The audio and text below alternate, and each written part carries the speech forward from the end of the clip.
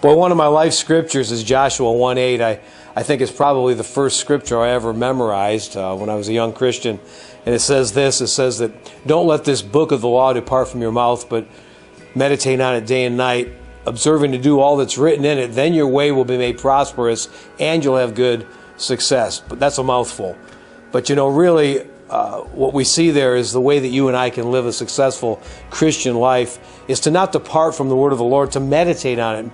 What does meditate mean? Well, it's a lot more than just memorizing or reading. That's certainly part of it. But meditating is going over it and over it. So once you've memorized it, you continue to just recite it to yourself and then to speak it out loud. And it says not to let it depart from your mouth. And so Jesus said that the things that we wanted to see happen, that we should speak them out in faith.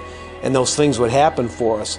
And so really it's speaking the word of God and not letting it depart and the Bible says, then you'll make your way prosperous, then you'll have good, successful. I assume you want to prosper in whatever it is you put your hand to do.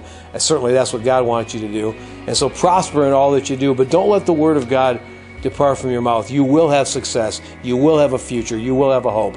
So just commit it unto God. Have a great day. God bless you.